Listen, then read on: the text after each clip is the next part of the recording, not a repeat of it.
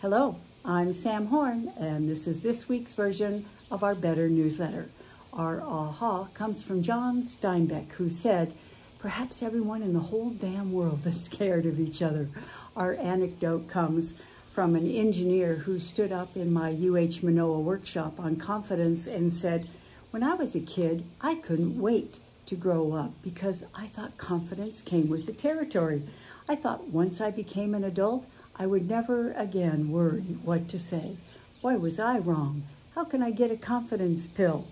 I told him the way to get confidence is to approach conversations with curiosity. Think like a journalist. Journalists aren't afraid of any conversation because they know how to ask questions that can lead to mutually meaningful conversations. He said, Sounds great. How can I do it? Well, you can take the action steps that are in an infographic you can find at the bio link under newsletter. And in that, you'll find tips to follow up on what Dale Carnegie said years ago, which is true today as when he first said it.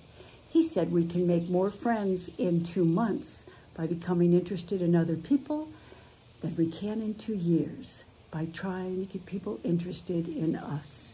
You may be thinking, I agree with that. I just don't know how to do it. Well, that infographic has four words that make everyone you meet feel seen and important. Two words that help you turn back versus take back conversations one word that shows people you're genuinely interested in them, and four words you can ask instead of what do you do that lead to mutually rewarding conversations. Once again, check our newsletter link for that free info infographic. Until next week, here's to being better. I'm Sam Horn.